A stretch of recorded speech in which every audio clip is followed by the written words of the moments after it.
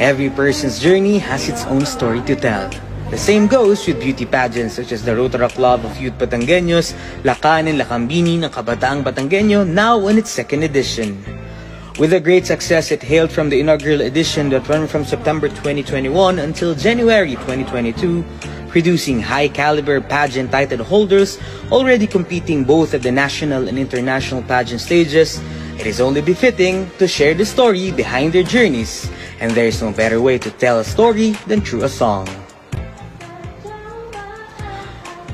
RYB, in collaboration with four aspiring independent OPM artists including Lindy De Los Reyes, Ellie Marqueses, Justin Atienza, and Ervil Abarintos put together a song that will encapsulate the essence of being a Batangueño with beauty, grace, and intellect.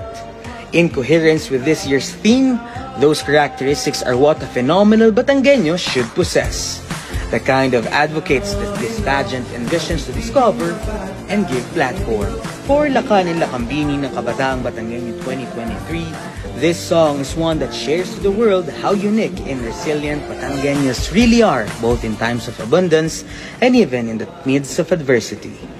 This song wishes to convey that just like its majestic views, sceneries, and attractions, the culture and talent of the people of Batangas are equally worth your while. And as a number of stories from the new roster of candidates are ready to unfold, this song shall be their banner from where they can fly higher and shine brighter as they work to make their voices be heard. At the end of the day, when voices sing in chorus, a beautiful melody is created, one that is empowering and one that is truly phenomenal.